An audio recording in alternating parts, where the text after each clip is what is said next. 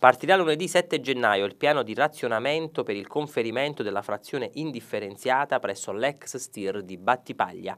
I comuni del Salernitano, a far data da lunedì, potranno conferire solo il 50% di indifferenziato destinato al termovalorizzatore di Acerra, che per i prossimi 40 giorni vedrà la manutenzione programmata di una delle tre linee. Una manutenzione che a catena si riverbera sull'impianto battipagliese, che sarà costretto a lavorare al di sotto delle sue potenzialità.